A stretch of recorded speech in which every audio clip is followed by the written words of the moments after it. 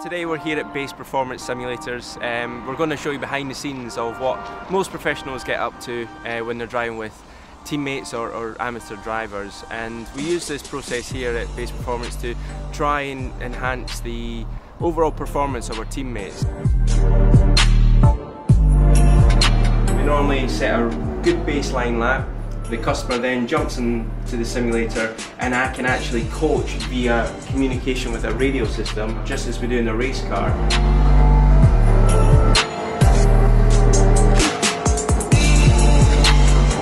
After the customers finish their session or finish their run, to just overlay the data, so trying to monitor small little inputs of brake pressure, steering inputs, everything that adds up to an actual overall lap time.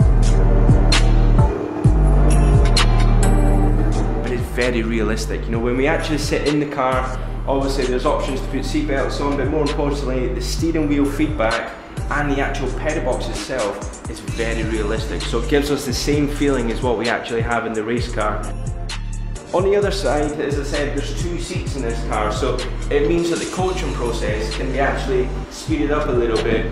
So we've got two elements. We've got the detail behind the screen with all the telemetry, but we've got just the basic raw coaching element, which is sitting next to your customer, trying to entice them to brake a little bit later, pick up the throttle a little bit sooner, and trying to gain that overall lap time.